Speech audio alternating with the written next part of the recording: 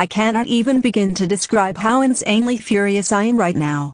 The fact that Vyond Studio has now gotten rid of the Oddcast text-to-speech voices, including mine, which is Allison.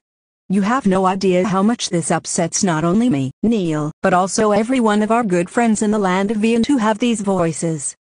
I'm sorry, but I am never, and I mean, never, ever, going to ever change my voice at all because it suits me the best and it's beautiful, especially after it was assigned to me by Jenna and I will never change it to some dumb new AI voice which is more expensive as hell to even use because it requires an enterprise subscription.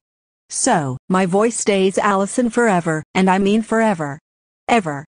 That's all I can say for now.